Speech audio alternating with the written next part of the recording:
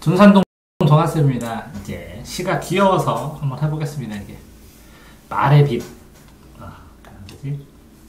말의 빛, 이혜인 이렇게 돼 있거든요. 응? 쓰는 거, 어이구.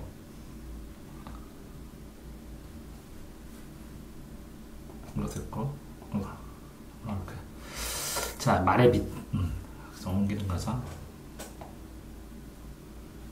말의 빛 이혜인 말에도 빛, 빛이 난다고 빛 네, 단어에도. 이혜인이 수, 수녀님이거든요 수녀님? 수녀님인데 시도 쓰는 시 쓰는 수녀님. 나이 좀 많으실 텐데 지금은.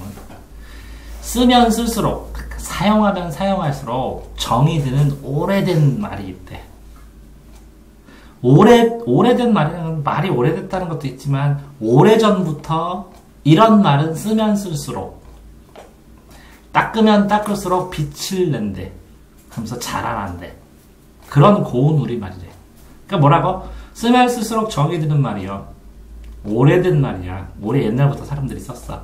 이게 닦으면 닦을수록 빛을 내는 말이야. 또 잘하기도 하는 말이야. 그게 고운 우리말이에요. 그 다섯 가지 특성이 있는 거예요. 이해되세요? 그게 뭐라고? 사랑합니다. 고맙습니다. 그럼 하나는 뭐겠어? 어우, 한번 봅시다. 사랑합니다. 라는 말은 A가 B한테 하지. 그죠? 사랑합니다. 억지로, 억지 부리지 않는데. 그러니까 억지로 사랑하지 않아도, 억지로 뭐 일부러 얘기하지 않아도, 하늘에 절로 피우는 노을빛, 비, 비, 노을빛인데 꽃 피는 것처럼 핀다고 그랬죠? 네. 꽃처럼. 나를 내어주고, 그런 거라고 노을이 왜 생겨요? 태양. 태양. 그죠? 태양이 지지만 타오르죠? 노을이, 하늘이 탄다, 불타는 것처럼. 그럼 빛이야. 그러면서 빛이, 노을빛이 피어올라, 하늘에. 이해되세요? 내가 떨어지면서 노을빛이 피. 그러니까 뭐라고, 이 사랑은 뭐가 있어야 된다고? 희생. 음.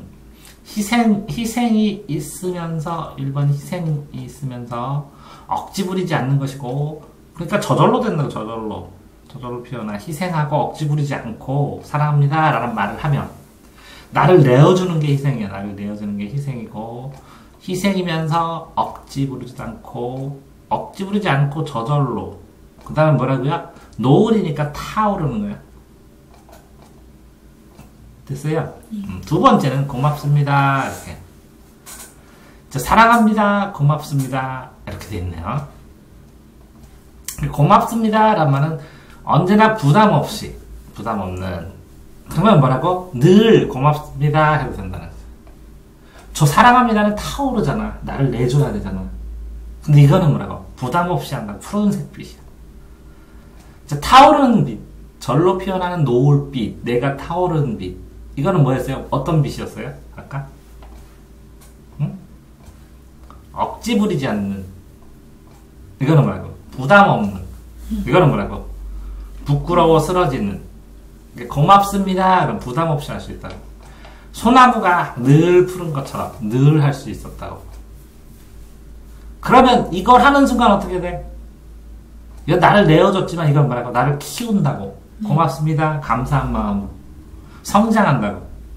그러니까 싱그럽게 성장하려면 녹색빛이 있어야지 푸른 그런 빛이라고. 그러면 이거는 희생의 빛. 맞아요? 응? 이거는 뭐라고요? 성장의 빛. 이 말에 그런 빛깔이 있다고. 그런 느낌이 있고. 시인이 생각하기에. 용서하세요라는 것은 용서, 내가 잘못했죠? 그러면 부끄러워하면서 조금씩 사라지는 빛이야. 근데 부끄러워요 하고 하면 굉장히 어떻게 보면 용기 내야 되죠. 용서하세요 그러면서 겸허하게 겸허한 게 뭐예요? 겸손하게 반짝이게 까만 벌써 살짝 뜨거워요? 이거? 아니죠. 고기 했을 때 이 반짝이는 용기가 있어야지 그죠? 그럼 뜨거워요? 아니죠. 나를 비우는 거. 이거 나를 키우는 거. 나를 비우는 건 뭐예요? 욕심도 비우고 죄송합니다 하고 내 생각도 또 비우고 비우니까 거기에 또 가득 채울 수 있죠. 근데 요게 커요? 아니죠. 내가 작아지는 빛이 오 그럼 커지는 게 아니라 키우려고 키우는 빛, 타오르는 빛, 작아지는 빛. 그럼 이 작아진다는 의미는 뭘까요? 쪼만해져요 내가? 아? 그러면 뭐예요?